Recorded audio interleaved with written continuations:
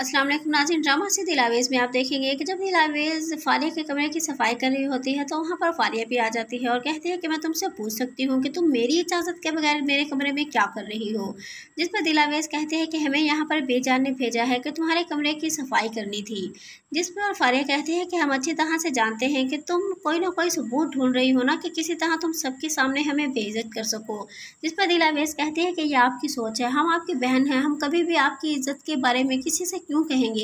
इस पर फारिया कहती है कि बस करो, मैं तो अच्छी तरह से जानती हूँ तुम्हारे इरादों को। तुम तो ये चाहती हो ना कि किसी तरह कोई बात निकले और मेरा सिकंदर से रिश्ता ख़त्म हो जाए, क्योंकि तुम तो खुद सिकंदर को पसंद करती हो। बिल्कुल तुम भी अपनी माँ की तरह ही मेरा घर ख़राब करना चाहती हो ना, लेकिन खैर मैं तो खुद ही सिकंदर को पसंद नहीं करती।